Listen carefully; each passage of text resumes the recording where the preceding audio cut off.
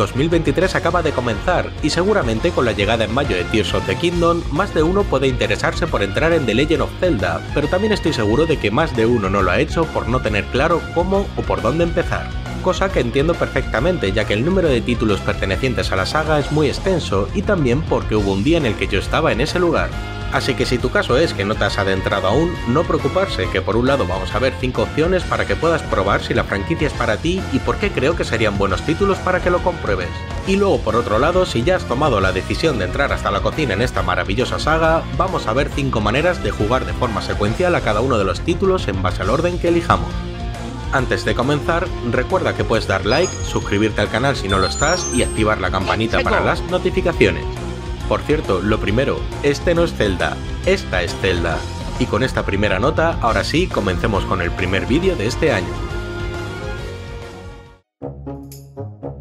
Primero vamos a comenzar con algunos preparativos, y es que creo que es importante ver un par de cosas antes de comenzar, y la primera de ellas es comprobar si es una franquicia hecha para nosotros. Y es que si esto es algo que no lo tenemos claro, antes de ir a por ninguno de los métodos que voy a proponer, deberíamos tener presente que hay unos títulos mejores que otros para iniciarse y comprobar esto. El primero que recomienda a todo el mundo es Ocarina of Time, y es que aparte de ser una obra maestra y casi de juego obligado para todo el mundo, el título materializa perfectamente la esencia de la saga y tiene un gran peso dentro de la franquicia a nivel argumental, ya que como veréis más adelante es el eje de varias formas de jugar a The Legend of Zelda. Además, si podéis hacerlo en Nintendo 3DS, os lo recomiendo aún más, ya que como he dicho en varias ocasiones, me parece que se hizo un excelente trabajo en el remake de este título. A esta lista sumaríamos The Wind Waker, que si bien no es tan eje central como Karina of Time, bueno, de hecho ningún título más llega a ese nivel, The Wind Waker está situado al principio de una de las líneas temporales, manteniendo también una alta dosis de la esencia de la franquicia y con su temática pseudo pirata, vamos a decir, o su estética cartoon, es posible que a algunos os llame más la atención para jugarlo que otros títulos. Además, la versión HD de Wii U, aparte de verse espectacular, simplifica un poquito ciertas tareas que no quiero spoilear, así que en definitiva, lo dicho, este título podría ser una gran elección.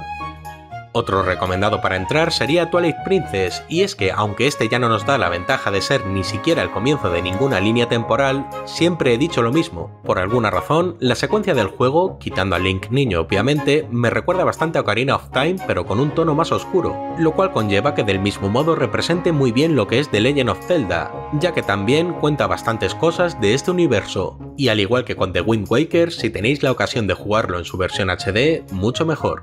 pero también podría ser que tuvierais en vuestro poder u os llame la atención el último título lanzado de la franquicia, Skyward Sword en HD en este caso, y es que tanto esta versión como la original de Wii, pese a que creo que es la peor opción para comprobar si nos gusta Zelda o no de las 5 que voy a comentar, no deja de ser tampoco una mala opción, ya que creo que este título tendrá mucho que ver con la trama de Tears of the Kingdom, pero aunque esto no fuera así, lo importante es que el juego nos cuenta el origen de la leyenda, y si estamos dispuestos a asumir su estilo de control por movimiento, es un Zelda bastante interesante tanto por su historia como por sus mecánicas, siendo únicas varias de ellas por esto mismo así que ya os digo que esto no os eche para atrás porque además estos controles pueden ser adaptados para jugar sin control de movimiento y también os adelanto que su historia de verdad os enamorará.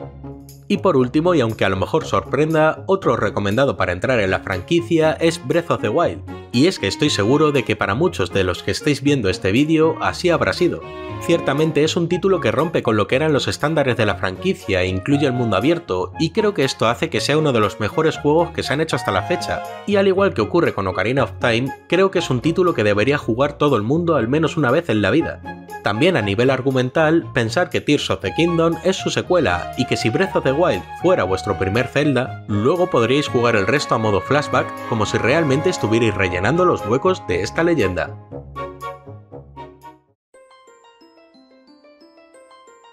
Como antesala de los diferentes métodos, me gustaría dar unas pinceladas de las líneas temporales, ya que aunque este no es un vídeo explícito para hablar de esto, sí que veo bastante necesario que las tengamos presentes para ubicarnos. Si más adelante queréis que les dediquemos un vídeo, hacedmelo saber en los comentarios.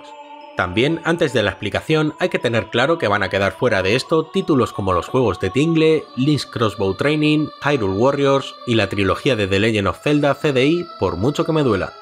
Lo primero que debemos saber es que en The Legend of Zelda todo ocurre de forma lineal desde Skyward Sword hasta los acontecimientos de Ocarina of Time, tramo al cual nos referiremos a él como la línea temporal unificada. A partir de aquí tenemos los tres escenarios que dan origen a cada una de las líneas. Por un lado tenemos la línea temporal del fracaso del héroe, por otro la línea temporal de Link niño, y por último la línea temporal de Link adulto. Y más allá de esto es donde tenemos el bloque de Breath of the Wild que por el momento lo único que tenemos claro es que está al final del todo junto con Hyrule Warriors Age of Calamity, que por cierto, lo que ocurre en este título también da para otro vídeo, y por supuesto donde también se ubicará Tears of the Kingdom.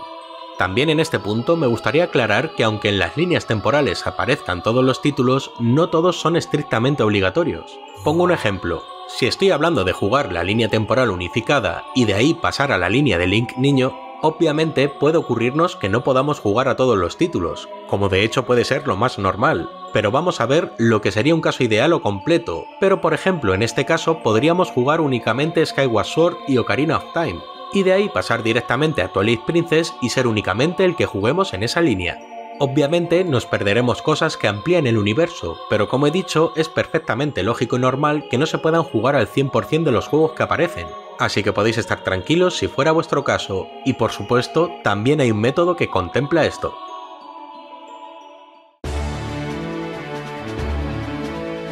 Y dejando esta pequeña introducción de las líneas temporales, vamos con el primer camino, el método cronológico. Y es que si bien no es la mejor forma de jugar a los diferentes títulos bajo mi punto de vista, con la salida del port en HD de Skyward Sword es posible que algunos ya hayáis comenzado por aquí. Y como su nombre indica, en este recorrido comenzaremos con el origen de todo y avanzaremos por la línea unificada hasta Ocarina of Time, donde aunque se pudiera tomar cualquiera de las tres líneas temporales, yo recomendaría ir directos a Majora's Mask y completar la línea de Link Niño, no por nada, pero hay que tener en cuenta que Majora's Mask es secuela directa de Ocarina of Time y lo sentiríamos más continuista que a Link to the Past o de Wind Waker.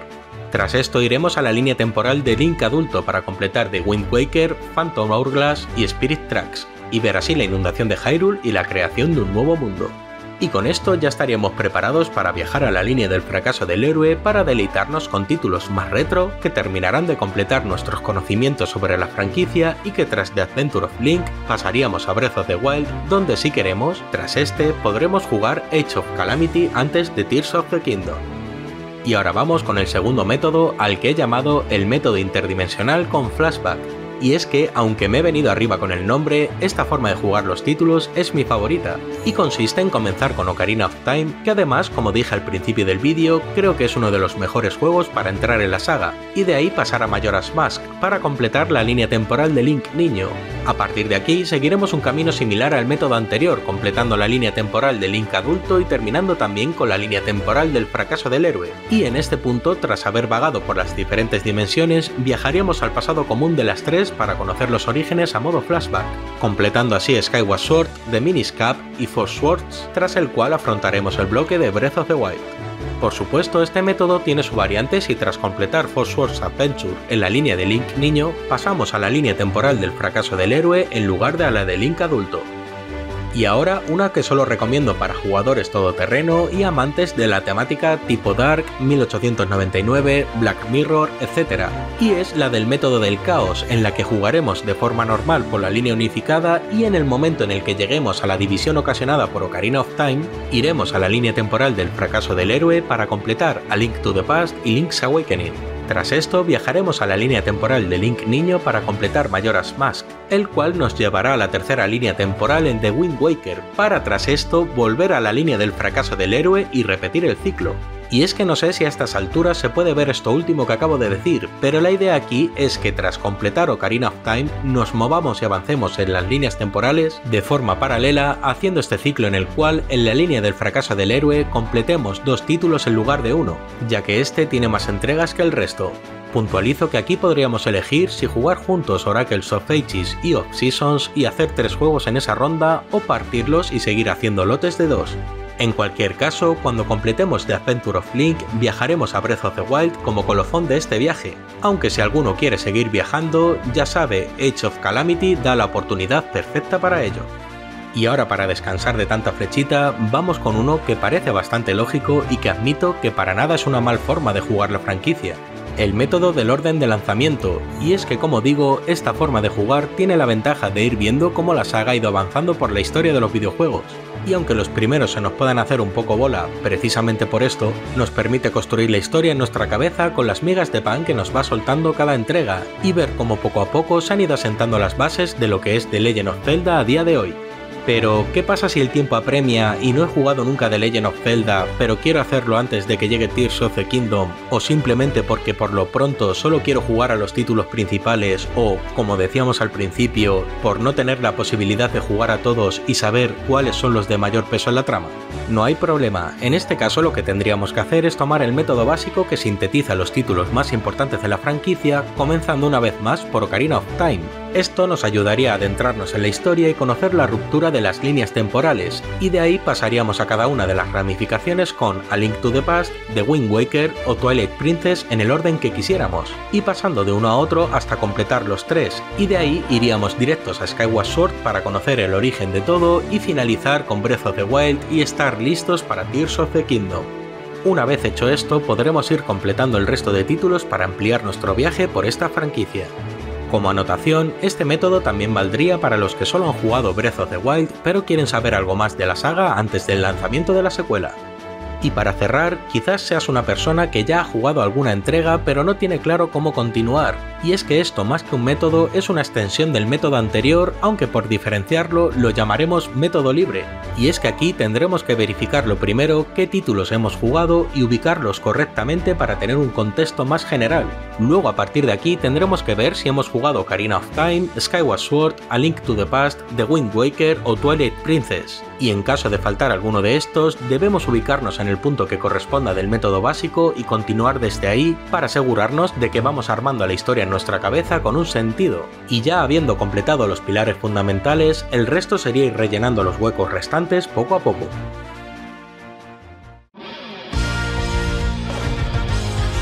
y estas serían mis recomendaciones para aquellos que quieren probar a entrar en la franquicia o que no saben qué camino elegir o cómo hacerlo. Y es que como os dije al principio, yo estuve en ese lugar y espero que este vídeo te haya ayudado a resolver algunas dudas y que con esto puedas empezar en esta gran saga y la disfrutes tanto como yo.